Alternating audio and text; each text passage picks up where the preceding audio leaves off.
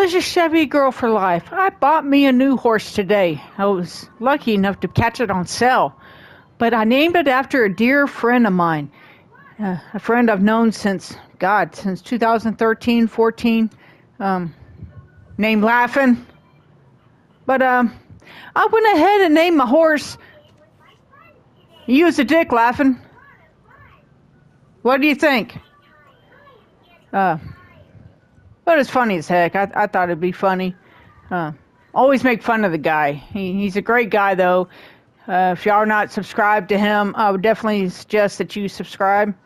Um, uh, Laughing Boys Games. Anyway, I just wanted to show you uh, my horse. He's a a fox trotter. Um, he's a pretty horse, though. I, I really like him.